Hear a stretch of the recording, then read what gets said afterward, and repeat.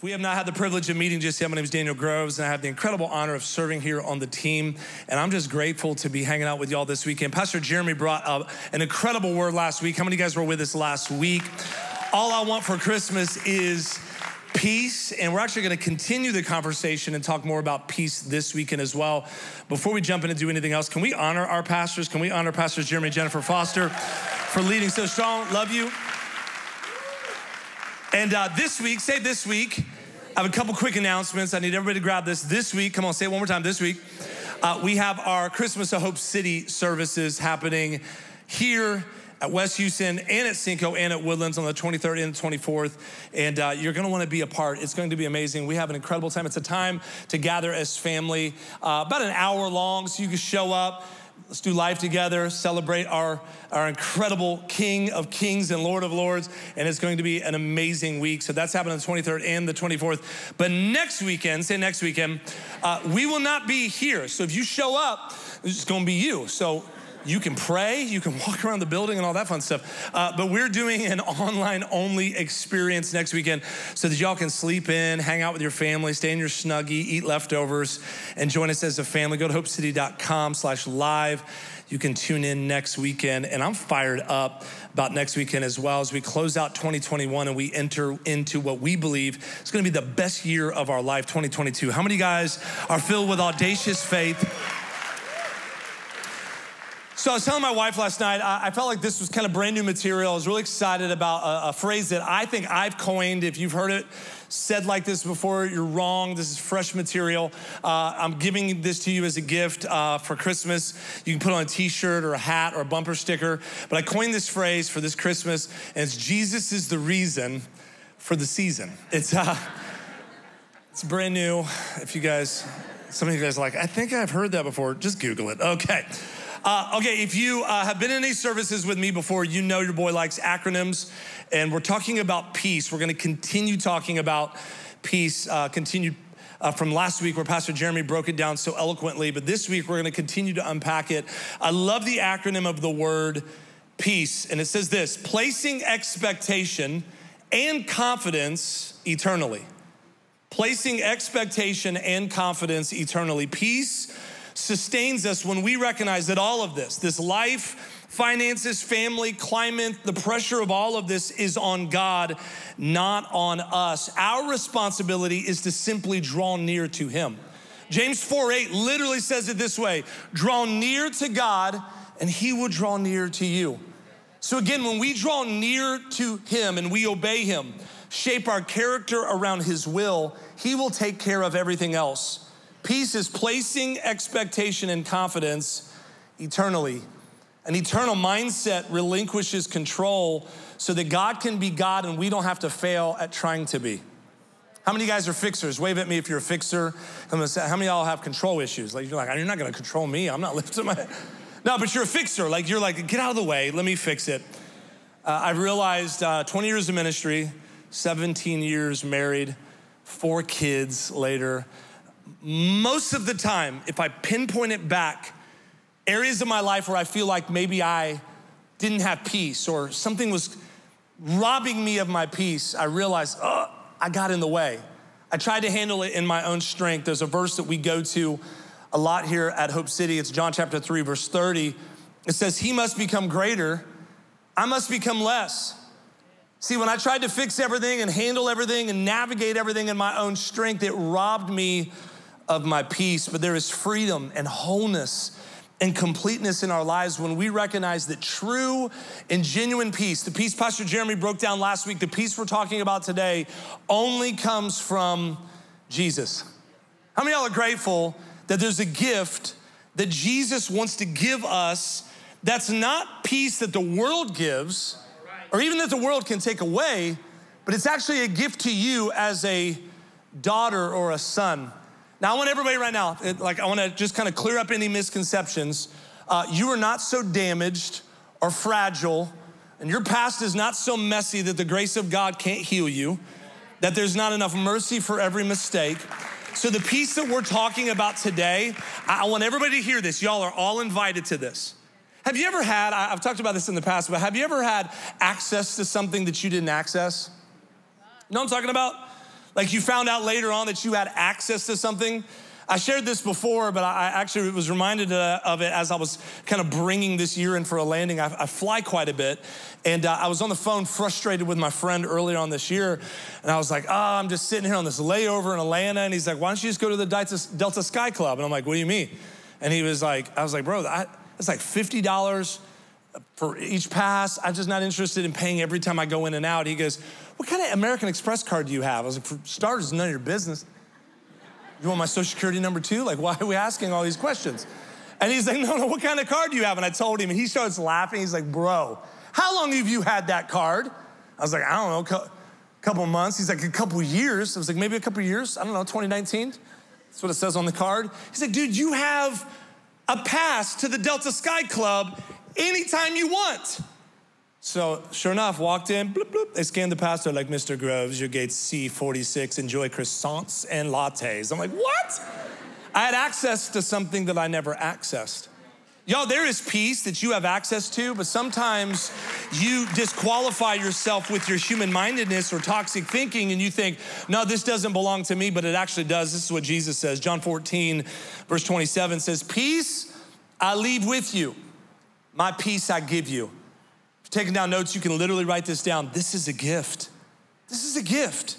I do not give to you as the world gives, so do not let your hearts be troubled and do not be afraid. Jesus made it very crystal clear in this verse that true peace comes from Him, not from the world. This isn't the kind of peace you can Google. This isn't the kind of peace that you can purchase. And this is for somebody if if there's an area of your life that's been robbing you of your peace, then it's too expensive. He says, You can't buy this type of peace. This is a gift from God. So, my son, he's 12. I've got four kids 12, 11. Breck's actually about to turn 13 New Year's Eve. Come on, that's why I'm gonna have a teenager. Ooh, hallelujah.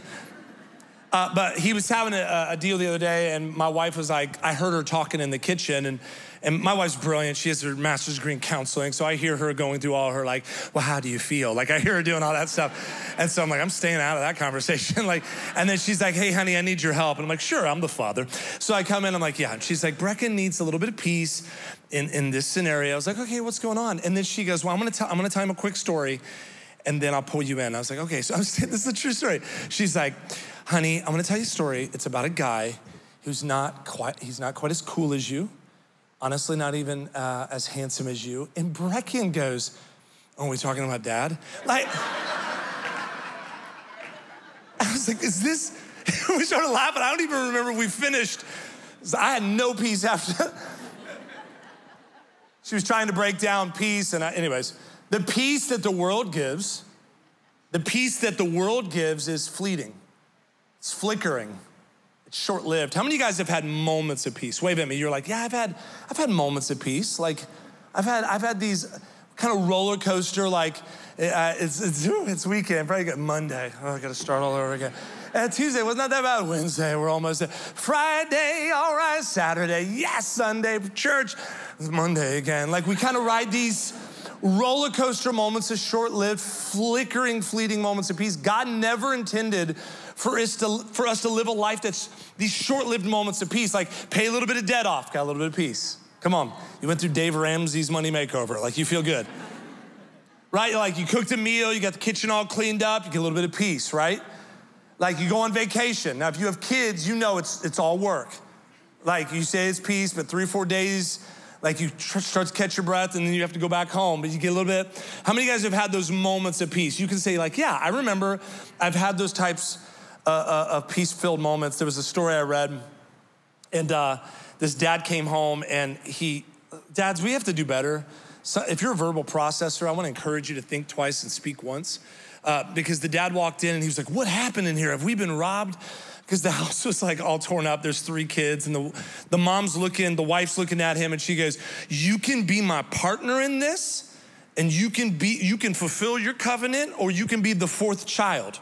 You choose. And he's like, I got you, I got you, but have we been robbed? Like, what's happening right now? And she said, The kids have been a lot today. And so he's like, Babe, I got you. I've got your back. So he goes to the bathroom, turns on a bubble bath, turned on some music. He came in, he goes, Hey, the night you're off the clock you're gonna have a night of just, just peace and, and rest and relaxation. She's like, Are you kidding me? He's like, No, I'm gonna make dinner. She's like, What are you gonna make? He goes, We'll make pizza. And she was like, Take the plastic wrap off the pizza. You almost burnt the house down last time. He's like, I, I grew past, if you're gonna go through it, grow through it. I grew past that. I know to not do that now. And so she's like, What are you gonna do? He's like, I'm gonna make, I'll get into bed. All you have to do is literally just say, Good night, children. I love you. Leave me alone and just go down the hall. And she's like, Okay. And she said, I'll tell you, when I was walking down the hall, I felt like I could catch my breath for the first time in months. She's like, I was like, Thank you. I needed this moment of peace. Dad lines all the kids up. Listen, we're not dealing with dishes. We're doing disposable cups and plates. We're gonna eat pizza. And the little girl was like, You're gonna take the plastic wrap off? He's like, I don't need to hear it from you two. That's already done. It's in the oven. We're good, okay? And then y'all are not gonna bother mom. You're gonna go brush your teeth and go to bed. They were like, Yes, sir. He's like, Cool. He's like, This is not that hard. Okay, this, I don't know why she's all worked up. So, and then he got everything set up, got everything on the table, and then he got stuck watching uh, Sports Center. 20, 25 minutes passed. He looked at the table. The kid, kids, come eat. Like pizza's ready. Gets it on the table. You guys get okay. And then he got locked back in. Now the game started and he's into the game. About 30 minutes passed and he looked at the table. Y'all, these kids have eaten. They cleaned everything up. They've tucked themselves in. He's like, yeah, I did, I did pretty good. Like, she should be like over the top thankful, right? Like, I'm gonna, I even had time to clean up a little bit. And then he hears her yell his name and he's like, oh, she wants to thank me walks in the bathroom. All three kids are sitting in the bubble bath with their clothes on, eating pizza, and she's in the corner like this. And he's like, I didn't know you wanted all of us in here with you. Come on, dads, we can do better than that. And she said, This is the part that I love. She said, For a brief moment, about 15 minutes, I could catch my breath. I felt like I experienced peace. Again, how many of you guys have experienced those short lived moments? of peace.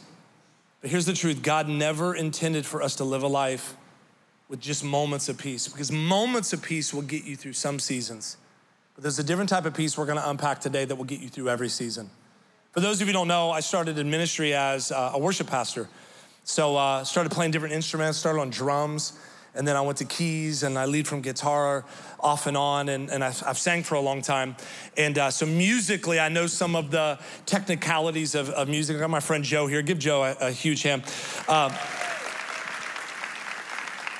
so up here at this keyboard, if Joe, if Joe decides to play the keys, uh, there's this note called a staccato note. And a staccato note is a short-lived, sharp-edged, fleeting note that starts and stops. Now, there's reverberation here at West Houston. I'm sure you'll hear it at Cinco, Woodlands, and even at home, but you'll just hear a little bit of a, of a reverberation or a little bit of an echo. But you'll see very quickly how the note stop, starts and how it stops. So go ahead and, there it is. Ooh, it's very inspiring. like, my God, I felt the presence of God right there. I don't even know what just happened. I can't remember. No, play it again. This is literally how a lot of us live our lives. Like, I've got a little bit of, peace in my marriage. okay, we're good. Uh, my kids haven't lost it this week. We're pretty, we're pretty, we're pretty good. Okay, my, my money, like some things that I got a Christmas bonus. My money's not quite as funny, so I got a little, got a little bit of peace. So we have uh, Christmas coming. Whew, I gotta catch my breath here. We got lots of family coming, but some of them called and canceled, so they're not coming now. I got a little, got a little bit more peace. It just. It, Someone almost ran around the room. You're like, that was a whole rhema word for me. But we live our lives like this. And God never intended for us to live like this short lived, flickering, fleeting, because what ends up happening is you also have a roller coaster of joy. It, it, robs you of your confidence. It messes and muddies the waters of your clarity and your wisdom and the things that God wants you to operate in and function in in your purpose because I'm constantly dealing with highs and lows and moments of peace, but behind this keyboard, and our team is so intentional about putting things so polished in a way, but there's this pedal back here, and if you're a musician, you know what I'm talking about. It's called a sustain pedal.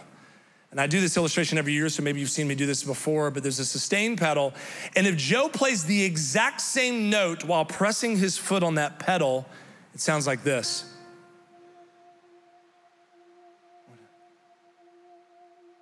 Just carries out. Hit, hit it one more time. Like it shifts a room. it feels like it just continues on. Play it again. So when the doctor says you're gonna deal with this the rest of your life, it's not a short lived, flickering moment of peace. You say, I've already prayed through on this. The great physician already says I'm healed. And I appreciate your professionalism, but there's a thread of sustained peace that's running through my life. I understand that this job is on the edge and I may get laid off, but I trust that my God will supply all my needs according to his riches and glory. Philippians chapter 4, verse 19. If you back up to verse 13, I have all that I need and I have all the strength I need that comes from him. There's a thread of peace. These temporary moments of peace will get you through some seasons, sustained peace. That gift from Jesus, John 14, will get you through every season. And then there's this confidence and boldness that comes over you that you can't help but worship. What a beautiful name it is.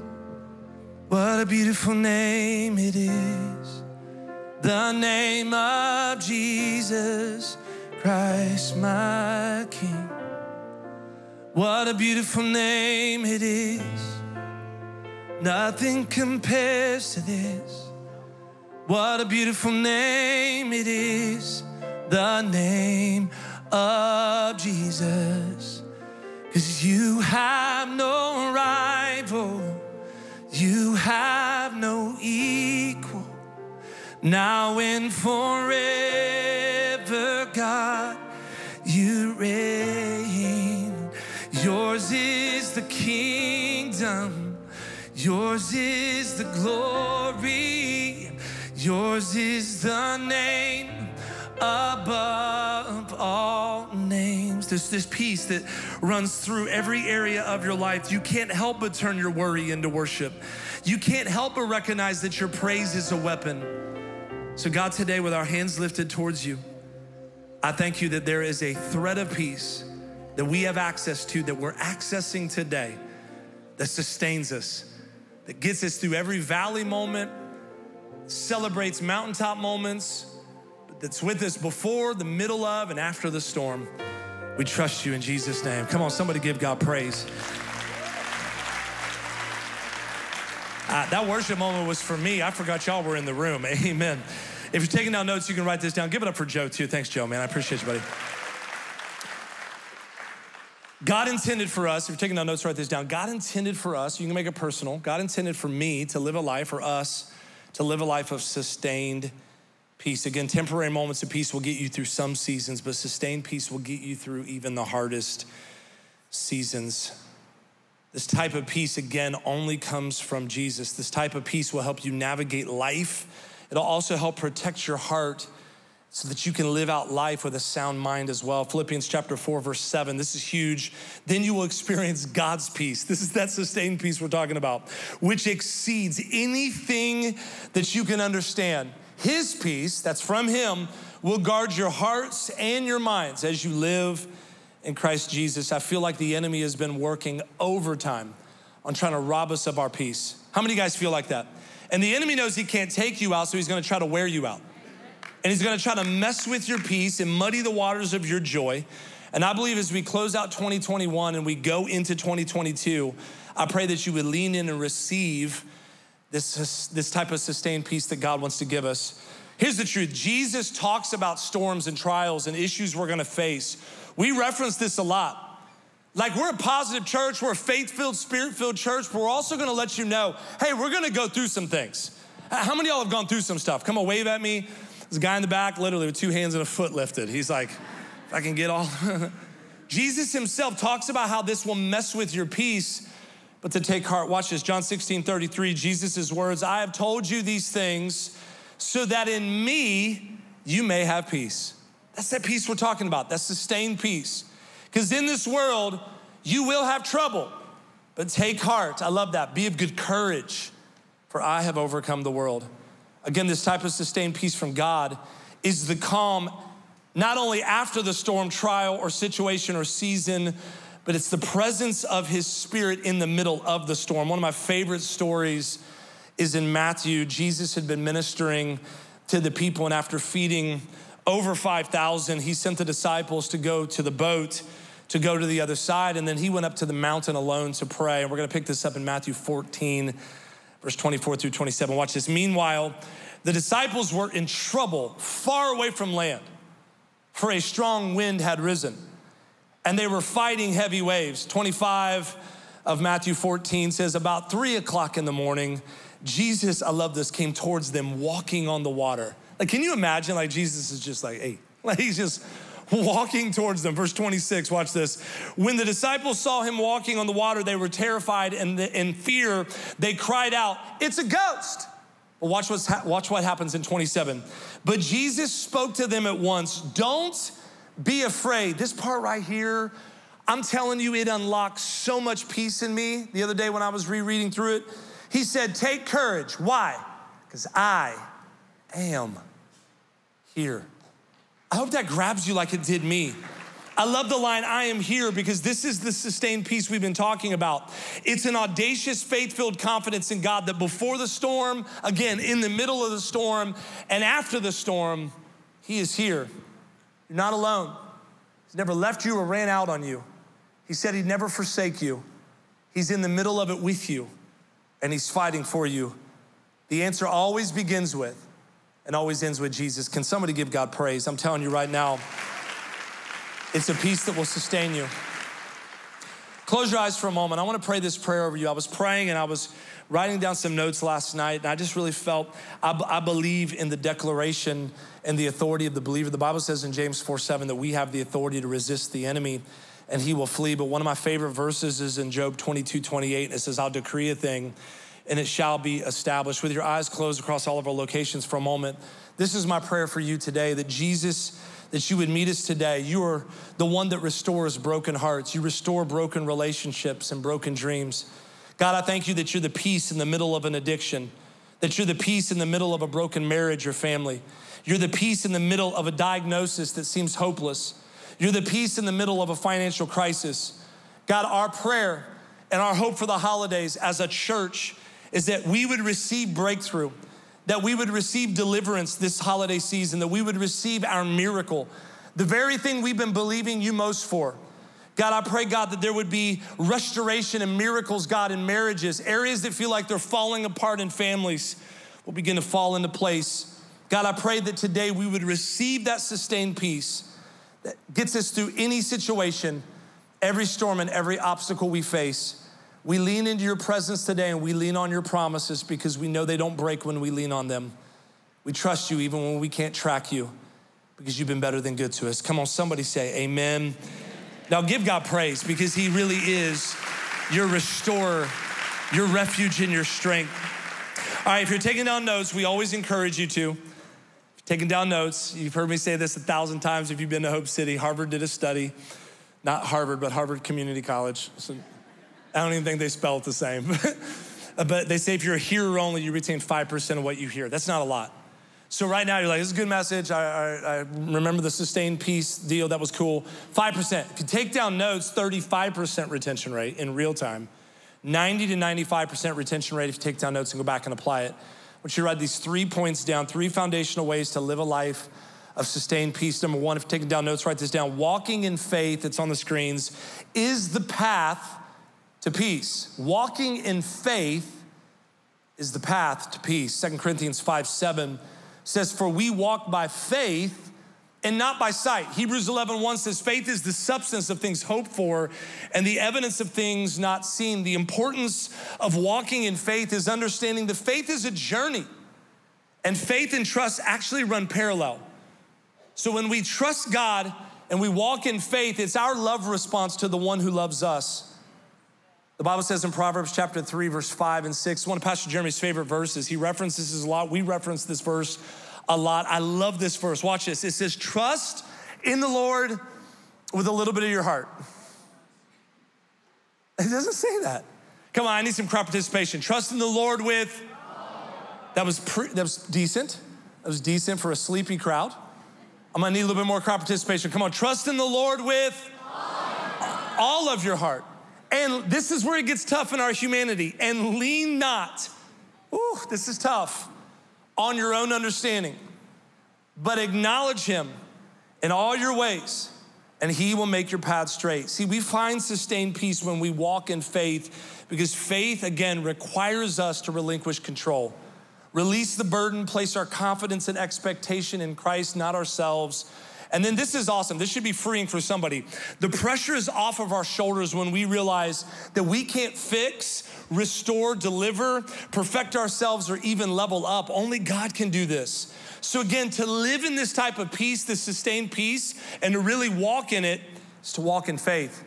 One of my favorite verses on faith. It's simple and it's short, but it's powerful. Isaiah 26, 3. The Lord gives perfect peace to those whose faith is firm. What's your foundation look like? That's why you're gonna hear all the time here at Hope City, we're a next steps church. We tell you all the time it's God's job to change you, but it is our job to walk with you. So, what does your foundation look like? That's why we encourage you do the first 15 every day. Take the first five minutes in the Word, five minutes in worship, five minutes in, in, in, prayer every day. And then at 15, you'll say, I'm hungry, I need 30. And then I need 45 minutes. And then an hour's not enough. Because the truth is, your foundation is everything. This building we're sitting in, the home you're watching from, Cinco and the woodlands, the building, like we look around and we see all of this, but the walls and the structure is only as strong as the foundation it's been built upon. So, what does your faith look like? Because if you feel like there's an area of your life that feels hopeless, then it's been under the influence of a lie. And hope has a name, and his name is Jesus. And he does want to unlock supernatural, sustained peace in your life. If you believe that, say amen. All right, taking down notes. Number two, pursuing connection. This is huge, paves the way for peace. Pursuing connection paves the way for peace. You have to connect on purpose. We're a church that believes that life moves at the speed of relationships. I've loved this quote. I've quoted it so many times this year. If you want to go somewhere fast, then go alone, right? You can go somewhere way quicker. But if you want to go somewhere far, go together. You have to choose connection. How many guys are a part of our Connect groups? Come on, we talked about this earlier. Amazing. We're actually relaunching our next semester at the end of January. So if you have not been a part of a Connect group before, jump in. Maybe God's been stirring in you to, to, to host one or be a leader of a Connect group. My wife and I do a marriage one. We absolutely love it. Every Wednesday night, man, we get fired up. It's time for our marriage group. And, and our church is large enough to serve a city and a community and reach the world, but our connect groups make it small enough to know each other. And so we have to pursue connection. How many guys, again, were part of our freedom groups? So those launch again at the end of next month as well. I have an amazing testimony. I wanted to read this from a participant that flew in that was a part of our freedom conference here last weekend. Showed up, man. We had an amazing time at the Woodlands. God showed up. Hope City Worship led. So many people left set free, healed, and delivered. And this is just one of many testimonies. This lady said, I had rheumatoid arthritis and psoriasis. I've been in pain all day and every day. Friday and Saturday morning specifically, I took some medicine, and typically it kicks in in about 30 minutes, but for some reason it didn't work. But towards the end of the conference, Pastor Daniel, uh, that's me, just say, uh, so like, who? And I don't go by Pastor Daniel, just Daniel Spine or the bearded wonder, but not the balded wonder. My wife, she said that one week, that hurt a little bit. All right. She said, when Pastor Daniel said there are people here who suffer with arthritis. So let me let me unpack this. So some of you are like, what happened? We were in the middle of our worship moment and we were flowing, and I felt like the Lord just stirred in me. And I'm not a psychic, I'm not a fortune teller, but the Lord will speak prophetically in worship moments. And I felt the Lord say He was healing someone who is dealing with arthritic issues and joint issues and pain. So we were just flowing. And again, this isn't hyper charismatic. There was nothing weird about this. The Holy Spirit was moving in the room, the power of God was present. And so she said, when he began to say, talk about arthritis and no cartilage, uh, cartilage in knees, she said, I knew he was speaking to me. And once he prayed, all of a sudden, all my pain was completely and totally gone. And it has been gone ever since that night. And I am now able again to get on my knees and pray to my God, which I have not been able to do in years. Come on, somebody. Miracles are breaking out. Connect groups are breaking, miracles are breaking out at connect groups in our church. God is showing up and He's doing what He does. He's healing and He's restoring. The truth is, a lot of times our peace is directly connected to a relationship. Directly connected to an iron sharpening iron moment. The Bible says in Psalms or in Proverbs 27 17, watch this. As iron sharpens iron, so a friend sharpens a friend. The Bible says in Ecclesiastes chapter 4, one of my favorite verses, this is amazing, verses 9 through 12. Ecclesiastes chapter 4, watch this, verse 10 two can accomplish more than twice as much as one, for the results can be much better. But if one falls, the other pulls him up. But if one man falls when he's alone, what happens? He's in trouble. Goes on in verse 11, also on a cold night, two under the same blanket gain warmth. Okay, pause real quick, because I don't need anybody to be like, no, I showed up and I heard the only way to get peace is to cuddle. We're not gonna talk about that. That's the relationship series. We're gonna skip verse 11. I'll let Pastor Jeremy break that one down.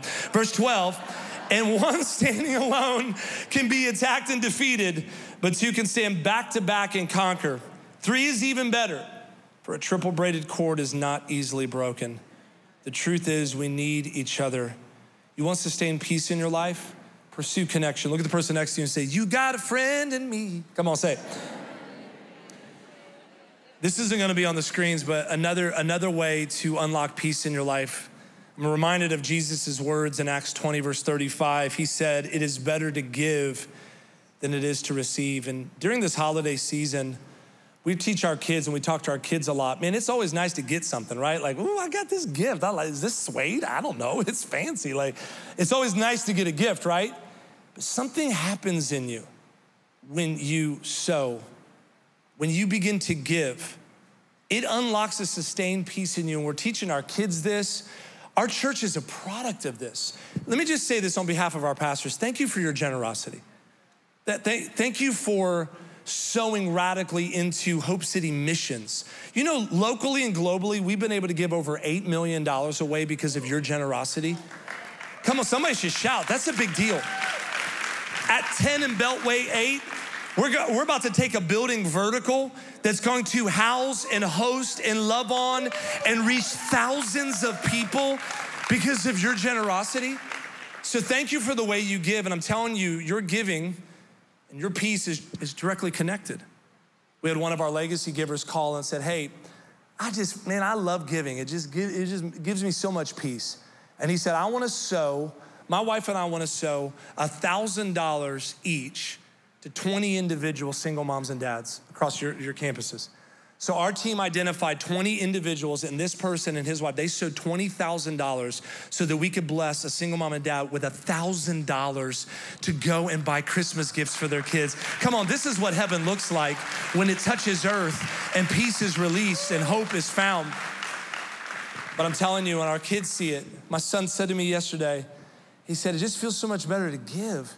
He said, I really don't want you guys to give give us much gifts for Christmas this year. I said, awesome, we'll give all your stuff away. And he's like, well, I didn't say, I didn't say that. I just didn't say that. All right, number three, if you're taking down notes, write this last one down. Heavenly perspective. This is gonna help somebody. Heavenly perspective produces peace.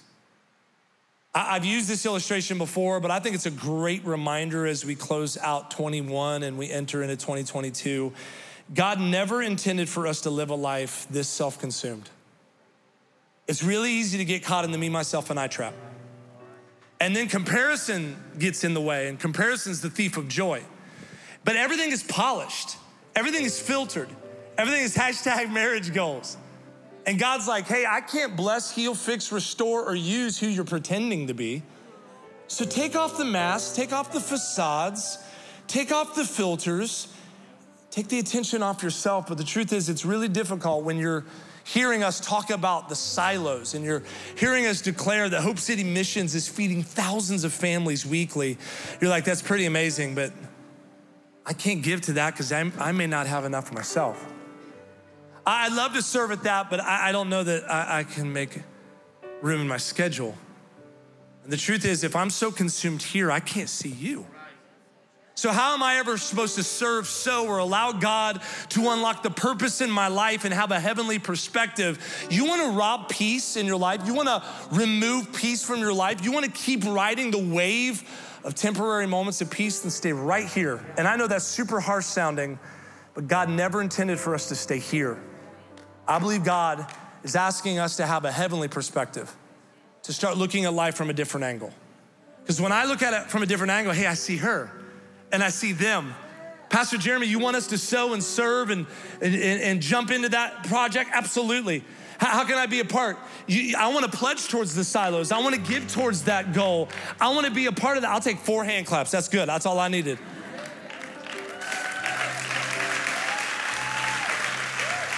It's really easy, specifically during this time, to stay stuck here.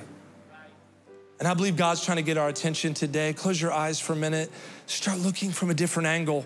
Stop looking at people and judging them based upon the chapter of their life that you walked in on. Start looking at them through the filter of compassion instead of the filter of only what you see. Father, forgive us for getting caught up in the me, myself, and I trap. Forgive us, God, for getting caught up in robbing ourselves and ripping ourselves off of this incredible sustaining peace that you've given us as a gift. Father, today I pray for our incredible church family. I pray, God, and thank you for the generosity. God, I thank you for Mark 12, verse 30, 31. It says that we must love you, God, with all of our heart, all of our soul, all of our mind, and our strength. The second is equally as important. We have to love our neighbor as ourselves. Look at me real quick. The only way that you can really receive that love yourself is to get out of the way. You posture yourself and position yourself to receive that love. And then after you've received that love, after you've received that love, out of the overflow of the love you've received, I can love you. How am I supposed to love my neighbor? I don't even like my neighbor. How am I supposed to love my? You receive that love, that unconditional, unfailing, that grace for every goof up, that mercy for every mistake, unconditional daddy to a daughter, father to a son, relentless love that said, I saw you in your lowest and I still was right there. I'll pull you up out of the lowest place. So receive that love and then love others. The Bible says in 1 John 4 11, Dear friends, as us, since God loved us this much, we must love each other. One of my favorite verses, and I believe our church is a true representative of this. Now, we're all a work in progress because we're human, we're fallible. But this is the verse that we're striving to be more and more every day. Colossians 3:17. Look at this. Whatever you do and whatever you say, you do it as a representative of the Lord Jesus Christ. So everything I say, do, everywhere I go, how I lead, how I'm a husband, how I'm a dad, I want to do it as a representative of Jesus. It's difficult if all I'm seeing is myself. But when I fix my eyes on Jesus and I start looking at Him and Him as the waymaker, the promise keeper, there's a peace that unlocks in me that I can't help but contend. I can't, can, I can't, I almost lost the mirror. And then all you, if you break the mirror, that's bad luck. Take it easy. But the truth is, when you've received that sustaining supernatural peace, it's contagious. And you can't help but tell other people about Jesus and who he is and who he has been in you. Let me pray this prayer over you as we bring this in for a landing. Close your eyes just for a moment. God, even when life feels chaotic, I thank you that we can experience your peace because of what Jesus did on the cross. Thank you for making this possible by sending us your one and only Son. You made a way for us to know you and to experience you more. Even when life feels out of control, we can cling to the truth that your peace isn't based on our feelings or circumstances, but on your character and your faithfulness. When I don't feel and we don't feel at peace, please make your presence so known to us and remind us that you're in control. Give us strength and comfort when the world feels uncertain and unsafe. Protect our hearts and minds from the weight of feelings and thoughts that feel overwhelming. Allow us to sense your presence every day and to live with confidence that you are always right here and you're always right there. One whisper of your name, you're right there, and we can feel you near. Let our lives be an example of that peace that truly surpasses all understanding with your eyes closed just for a moment, if you're here today, you're at Cinco or Woodlands, or you're watching online, you say, Daniel, the truth is, I don't know Jesus as my Savior. The foundation of everything we've been talking about, the firm foundation of our faith is built on one person, and his name is Jesus. If you've never experienced sustained peace in your life, supernatural peace in your life, that gift that Jesus talked about in John 14, it's all found in the presence of Jesus. Maybe you're here and you say, Daniel, I, I, don't know him, so I don't know his peace. Or maybe you're here and you say, Daniel, the truth is, I, I used to walk with him, but I fell away, and today's the day I want to rededicate my life. I want to make things right with him today, and for, I want to ask for forgiveness. I've been living pretty messy, but today's the day that I want to make things right. I'm gonna count to three, and at Cinco at Woodlands, our team there is gonna be looking here at West Houston. As family, we're gonna be doing this together. And if you're watching online, you can type yes to Jesus. Our team's gonna help you. When I hit three, I want you to lift up your hand. Today's my day to give my life to Jesus or rededicate my life today. Again, here at Hope City, we don't pray prayers for symbolic reasons, but according to Romans 10, verse 9 and 10, when we confess with our mouth and believe in our heart that Jesus is Lord, we will be saved. He's about to change a lot of families. He's about to rewrite some stories. A lot of things run in our families, a lot of addictions and struggles. But the enemy didn't know that when it ran into you, it was going to be broken off because when you confess the name of Jesus, everything will change. One, Daniel, I want to give my life to God. Two, I want to rededicate my life. Three, you're talking about me. Lift up your hand if that's you. Hand, hand, hand. Hands are literally going up all over West Houston. Our team at Cinco, I know in Woodlands are watching too. Yes, in the chat. Right now, hands are going up all over there. Come on, Hope City, can we give everybody a hand who lifted up their hand today with boldness? Amazing. All right, this is what I want you to do. I want you, everybody to pray this prayer from our team to watching online at all of our locations. Say this out loud. And if you lifted up your hand for the first time or rededicating this, I'm telling you, your story is about to change. Pray this prayer with boldness and confidence and joy today. Say, Jesus, it's me. I've been living for me and it's not working. Today on, I choose to live for you. I believe in my heart that you're the Son of God that you died on the cross so that I could have life and life more abundantly. Thank you for forgiving me of all my struggles and all my sins and all my issues. I repent now. From this moment on, you are my Father, you are my Savior, and you are my Lord. Thank you for unlocking sustained peace in my life. In Jesus' name, amen. Come on, Hope City, let's give God praise. Let's go.